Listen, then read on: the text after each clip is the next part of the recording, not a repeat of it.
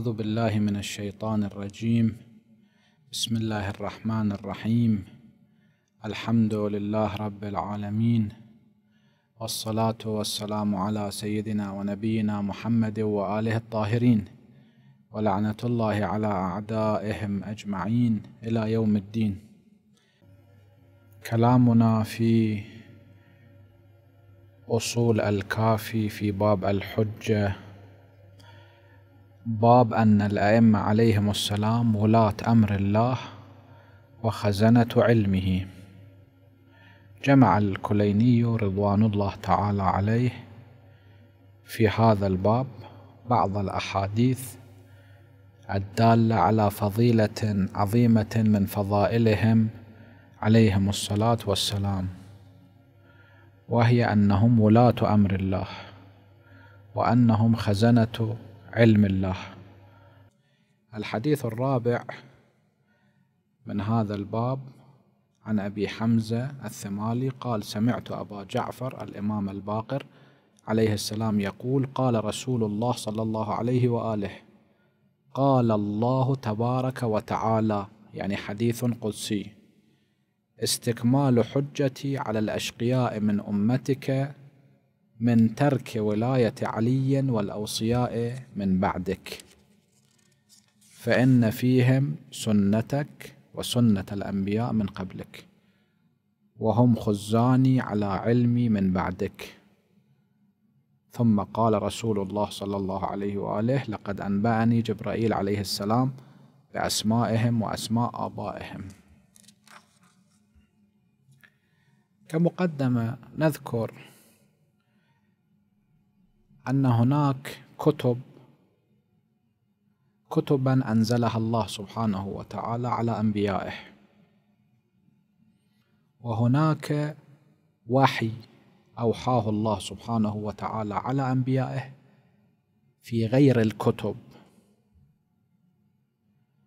ما أنزله الله سبحانه وتعالى في كتبه على أنبيائه لكل واحد من هذه الكتب اسم من الأسامي. مثلا ما أنزله على الرسول محمد صلى الله عليه وآله ليكون في الكتاب. هو القرآن الكريم.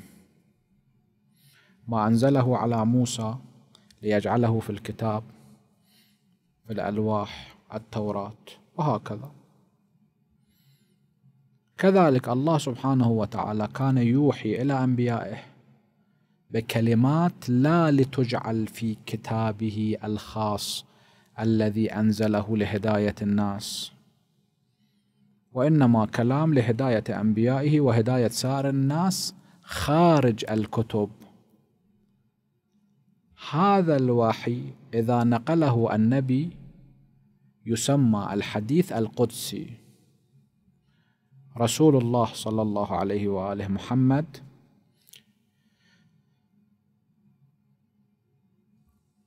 جعله الله سبحانه وتعالى واسطة في تبليغ القرآن الكريم. فالقرآن الكريم هذا الذي هو الآن بأيدينا ما بين الدفتين كما أنزله الله سبحانه وتعالى على محمد. وهذا يسمى قرآن. يعني أنت تقرأ سورة الحمد مثلا. بسم الله الرحمن الرحيم الحمد لله رب العالمين الرحمن الرحيم إلى آخر الآيات المباركات. أنت تقرأ القرآن. الله سبحانه وتعالى كذلك أنزل على رسوله كلمات أخرى غير القرآن. مثلا تفسير القرآن. الله أنزله على الرسول.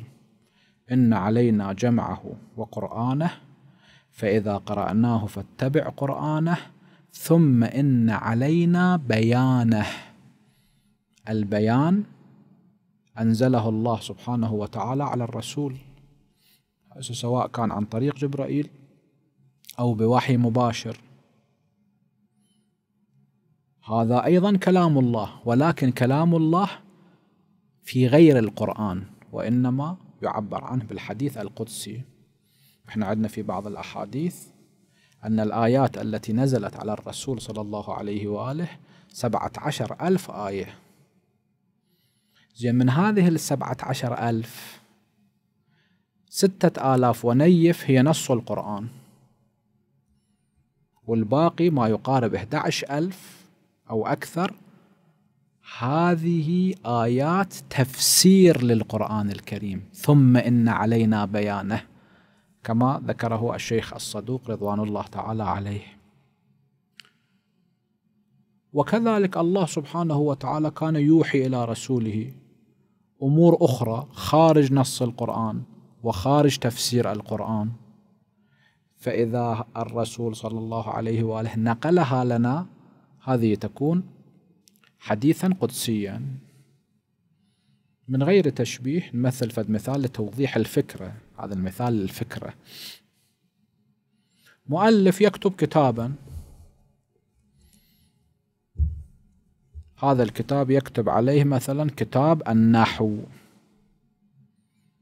ثم يكتب ورقة أخرى منفصلة عن ذلك الكتاب. هل هذه الورقة صادرة من هذا المؤلف؟ نعم. لكن هل هي ضمن كتاب النحو؟ لا.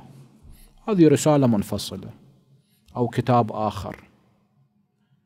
كلاهما تأليف المؤلف لكن المؤلف ألف كتابا في النحو منفصل. وكتب رسالة منفصلة. هذا لتوضيح الفكرة. الله سبحانه وتعالى أوحى إلى أنبيائه. تارة وحي ليكون من الكتاب كالقرآن والتوراة والإنجيل والزبور وصحف إبراهيم. وأحيانا لا أوحى إليهم لا ليكون في كتاب. فيسمى الحديث القدسي إذا نقل إلينا.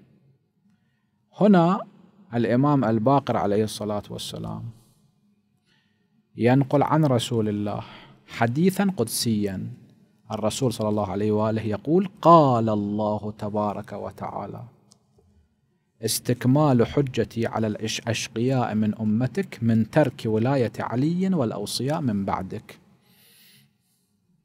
الله سبحانه وتعالى أتم حجته على خلقه. قل لله الحجة البالغة. ماكو واحد في يوم القيامة من المعاندين من المخالفين من العصاة يقول يا رب حجتك لم تكن كاملة علي. لقالوا ربنا لولا أرسلت إلينا رسولا فنتبع آياتك من قبل أن نذل ونخزى.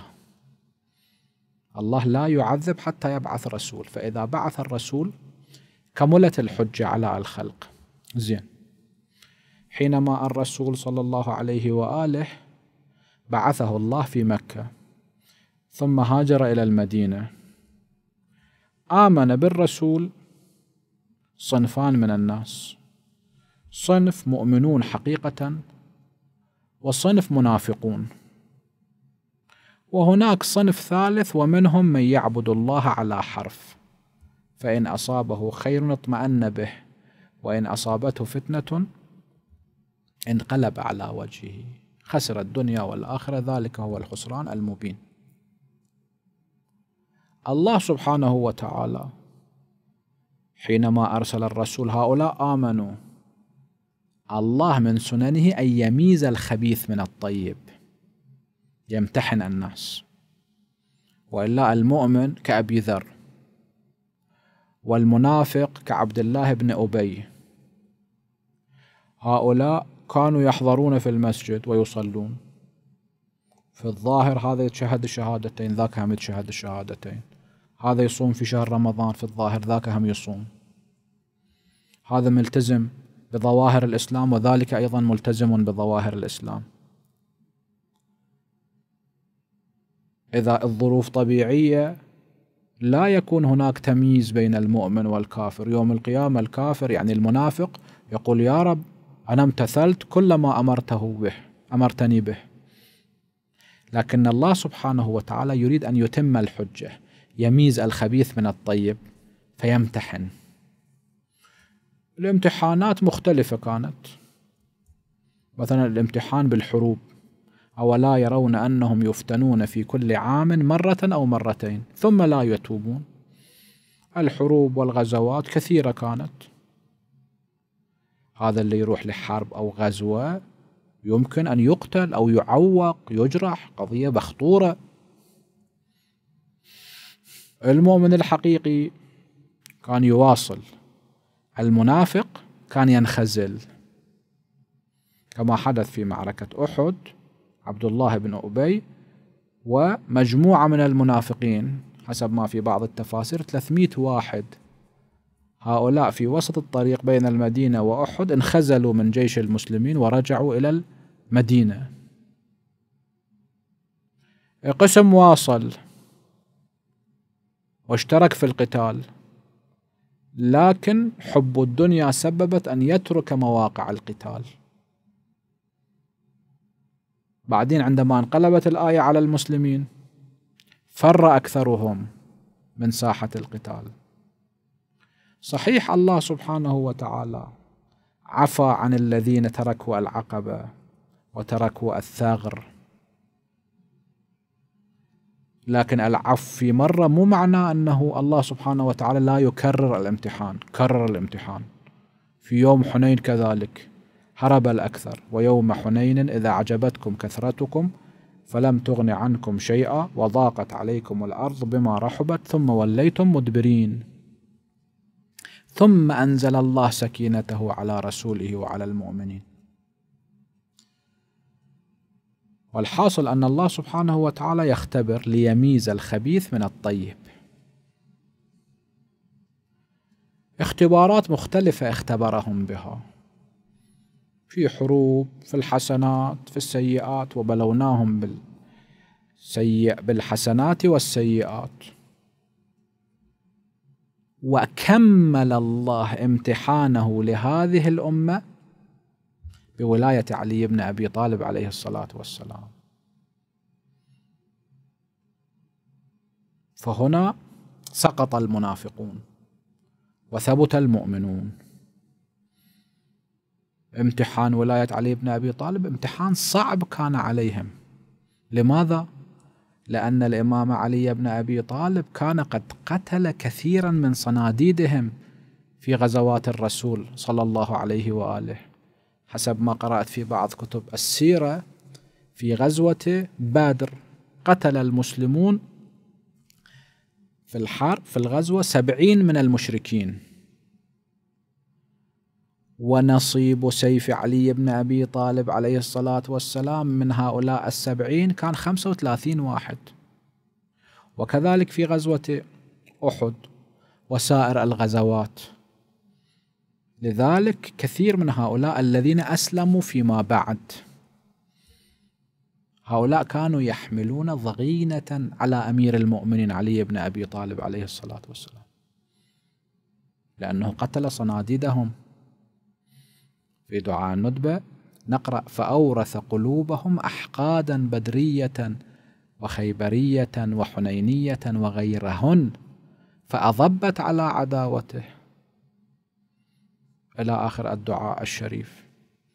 امتحان كبير. هذا قاتل أبيك. أنت لازم تواليه قلبا هم تواليه ما يكفي أنه الموالاة اللسانية. لازم تعتقد تعقد قلبك على ذلك. لأن من أصول الدين كما أنه أنت قلبا لازم تعتقد برسول الله محمد صلى الله عليه وآله. تعتقد بالتوحيد لازم تعتقد بالولاية مو فقط لغلقة لسان. هذا أمر جدا صعب وامتحان كبير وسقط في هذا الامتحان الكبير الكثيرون. وقضية قاتل الناس تتحكم فيهم العواطف وهوى النفس. كان أحد الأدباء في زمان هارون اللا رشيد يعيش. يعني هارون اللا رشيد كان في أواخر القرن الثاني سنة 180 190 هالحدود كان. بينه وبين الإمام علي بن أبي طالب حوالي 120 130 سنة وأكثر. كان واحد من الأدباء في ذلك الزمان. يبغض الإمام علي بن أبي طالب عليه الصلاة والسلام حسب ما ينقل عنه. فلما سئل عن ذلك قال إن جد جدي مثلا أو أبو جد جدي واحد من آبائه. هذا كان قد سرق في عهد أمير المؤمنين عليه الصلاة والسلام. فثبتت عليه الجريمة وأجري عليه الحد. زين أمير المؤمنين أجرى عليه الحد هذا تطبيق لحكم الله سبحانه وتعالى. إذا في غزوات الرسول أمير المؤمنين دافع عن رسول الله. طبعا حرب في هذه الحرب قتل المهاجمون. هذا تنفيذ لأمر الله سبحانه وتعالى. لا ذنب له في ذلك بل فضيلة له. نفذ أمر الرب سبحانه وتعالى وأطاع رسوله صلى الله عليه وآله. لكن هوى النفس يسيطر على الناس إذا أبغضوا أمير المؤمنين عليه الصلاة والسلام وتوارثوا هذا البغض بالنسبة إلى أولادهم وأحفادهم. إذا يزيد بن معاوية بعد واقعة الطف بعد عاشوراء تمثل بهذا الشعر ليت أشياخي ببدر شهدوا. جزع الخزرج من وقع الأسل. إلى آخر الأبيات المعروفة. الذي يصرح فيها بكفره وإنكاره لنبوة الرسول صلى الله عليه وآله. توارث الأحقاد. بنو أمية توارثوا الأحقاد بالنسبة إلى أمير المؤمنين عليه الصلاة والسلام. كانوا يلعنونه ويسبونه على المنابر. سنوات طويلة. إلى زمان عمر بن عبد العزيز يعني تقريبا سنة مئة بين استشهاد أمير المؤمنين وزمان عمر بن عبد العزيز ما يقارب الستين عاما كانوا يلعنون أمير المؤمنين عليه السلام على المنابر ويسبونه. زين عمر بن عبد العزيز رجل ذكي كان سياسي خبير كان عرف أن هذه الحالة تضعضع أركان ملك بني أمية. لذلك بقضية مذكورة في التاريخ أمر برفع السب عن الإمام علي بن أبي طالب. لكن فترة حكم عمر بن عبد العزيز كانت قليلة تقريبا ما يقارب السنتين. بعد ذلك مات وقيل أن بني أمية سموه لأنه ما كان يصرف لهم طريقة حكمه. ما كانوا ملتفتين أنه هو ذكي دا يوطد أركان ملك بني أمية. على كل حال فلما مات عمر بن عبد العزيز رجعوا إلى سب أمير المؤمنين عليه الصلاة والسلام مرة أخرى. والتنكيل بذرية الإمام وما فعلوه بزيد بن علي بن الحسين عليهم السلام معروف. وكان ذلك من الأسباب الرئيسية في زوال ملك بني أمية. على كل حال هذا الامتحان امتحان صعب جدا. وليسقط فيه الأكثر بسوء اختيارهم. نعم قد ينجح فيه القليل. هناك رواية أن عبدا سرق فجاء إلى أمير المؤمنين عليه الصلاة والسلام وأقر بالسرقة. بالشروط الشرعية لأن ثبوت هذه الجرائم إما بشهود وإما بإقرار بتفصيل مذكور في الفقه. فأقر بشروطه فأمر الإمام عليه الصلاة والسلام بإجراء الحد عليه. الآية الشريفة تقول السارق والسارقة فاقطعوا أيديهما. فلما قطعت أصابعه أخذها بيده الثانية وخرج من مجلس القضاء أو من مجلس تنفيذ الحكم وهو يمدح الإمام أمير المؤمنين عليه الصلاة والسلام. فقيل له يا هذا إنه أمر بقطع أصابعك أمر بقطع إيدك كيف تمدحه؟ قال يعني ما معناه أنه لم يفعل ما فعله إلا امتثالا لأمر الله سبحانه وتعالى. هو ما عنده عداوة شخصية وياي. وإنما طبق حكم الله سبحانه وتعالى. فلذلك أمدحه. طبعا الرواية فيها تتمة وفيها بيان لمعجزة من معاجز أمير المؤمنين عليه الصلاة والسلام. إذا الله سبحانه وتعالى أكمل حجته على أمة محمد صلى الله عليه وآله بولاية أمير المؤمنين والأوصياء من بعده يعني الأئمة عليهم الصلاة والسلام. فمن تركها كان شقيا. لأن مصيره إلى النار. إذا أبغض الإمام عليا عليه الصلاة والسلام فهو منافق. إن المنافقين في الدرك الأسفل من النار. والذي يبغض أمير المؤمنين عليا عليه الصلاة والسلام هو منافق هذا ما ثبت في الروايات الصحيحة التي روتها الفريقان التي رواها الفريقان سواء من الشيعة أو من غير الشيعة. لا يحبك إلا مؤمن ولا يبغضك إلا منافق. زين واحد يمكن لا يبغض الإمام علي بن أبي طالب لكنه لا يواليه. هذا أيضا ساقط في الامتحان. نعم هذا ذاك المبغض أسوأ من هذا لأن ذاك منافق. هذا الشخص ليس بمنافق لكنه ليس بمؤمن لأنه شرط الإيمان أو ركن من أركان الإيمان محبة وولاية الإمام علي بن أبي طالب والأئمة المعصومين عليه الصلاة والسلام. فهنا في الحديث القدسي الذي يرويه الإمام الباقر عن رسول الله صلى الله عليه وآله عن الله قال الله تبارك وتعالى استكمال حجتي يعني أكمل الحجة. الله له حجج كثيرة الرسول حجة لله سبحانه وتعالى على خلقه. امتحانات مختلفة لكن كمل تلك الحجة استكمال حجتي على الأشقياء من أمتك يا محمد صلى الله عليه وآله. من ترك ولاية علي بن أبي طالب والأوصياء من بعدك. الإمام علي والأوصياء من بعد الرسول. الذي ترك ولايتهم مو فقط أبغضهم لا ترك ولايتهم ترك محبتهم ترك اتباعهم هذا إنسان شقي كملت عليه الحجة. قل فلله الحجة البالغة. يوم القيامة ما يقدر يجي يقول يا رب لم أعلم. الله سبحانه وتعالى كمل الحجة. وهذه من حكمة الله سبحانه وتعالى مع أنه أولياء الإمام أمير المؤمنين عليه الصلاة والسلام لم ينقلوا فضائله خوفا اللي ينقل الفضيلة كان يقتل كان يحارب خاصة في زمان بني أمية أو في فترات من زمان بني العباس. فالذين كانوا يحبون أمير المؤمنين كتموا فضائله خوفا. الذين كانوا أعداء له كتموا فضائله بغضا.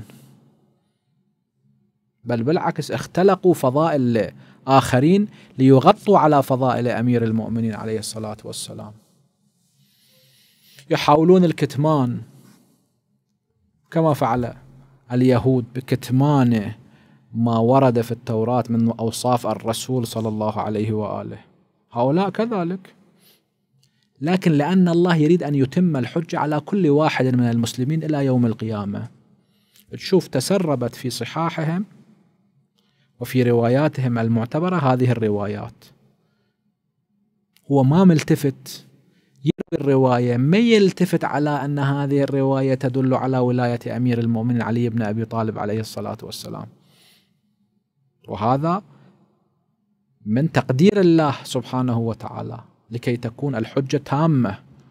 لو هذه الروايات ما كانت واصلة في كتبهم زين يجي تريد تناقشه يقول أنت رواياتك في كتبك أنا ما أقبلها. حجة عليك مو حجة علي. أنت جيب من كتبي إذا الروايات ما موجودة في كتبك شلون تحتج علي ومسألة الولاية صحيح أمر عقلي لكن تعيين المصاديق والتفاصيل يكون بالنص الشرعي. لكن الله أراد أن يتم الحجة فتسربت.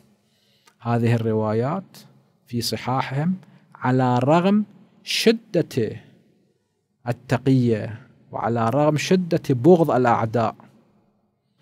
وعلى رغم كتمانهم تحريف يعني حتى في هذا الزمان في بعض طبعات بعض هذه الكتب يحرفون يحذفون. إذا واحد يروح يبحث في الإنترنت يجد أنه الطبعات المختلفة في طبعة موجود في طبعة محذوف. أحيانا يبدلون الكلمة إلى كذا وكذا.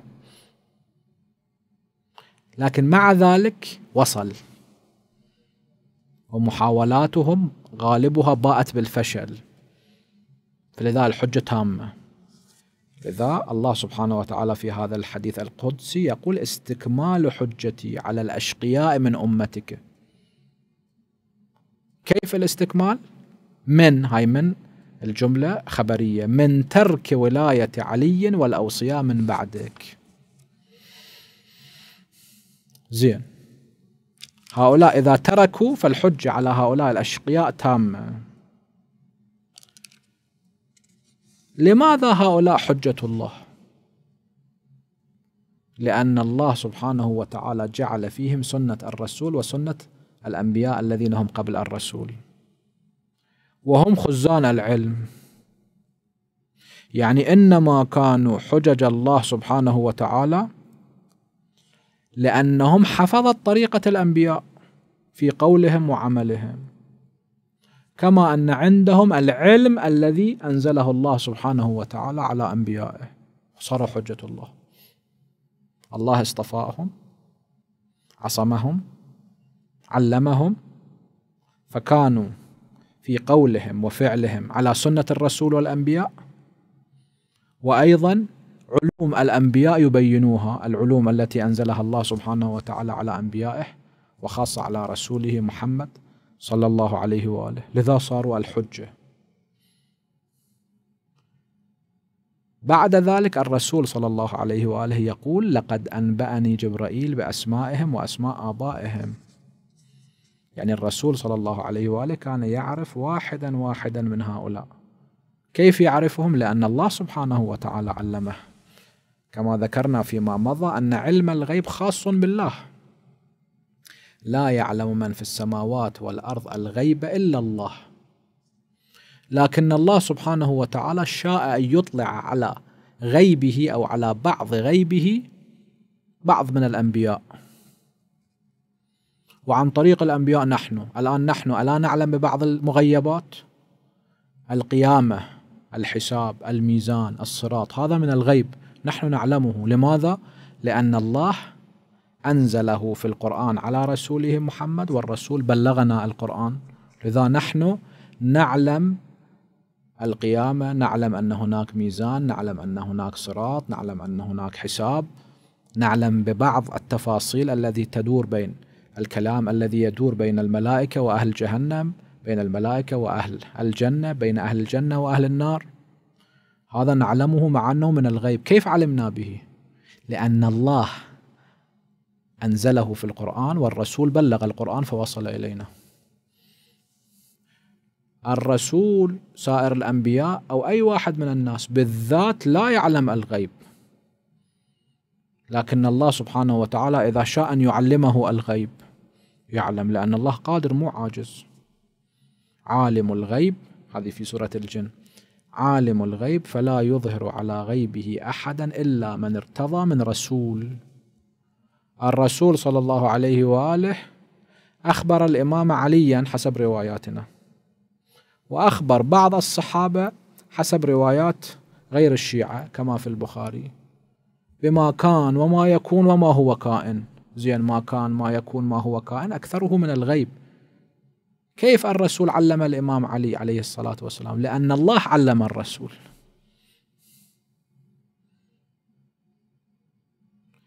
ومن جملة ما علمه الله سبحانه وتعالى أن الأوصياء من بعدك واحدا واحدا بأسمائهم أولهم الإمام علي بن أبي طالب عليه الصلاة والسلام وآخرهم الإمام المهدي عجل الله تعالى فرجه الشريف. نسأل الله سبحانه وتعالى أن لا يجعلنا من الأشقياء وأن يجعلنا أتباع للرسول وآله ومن الموالين لهم.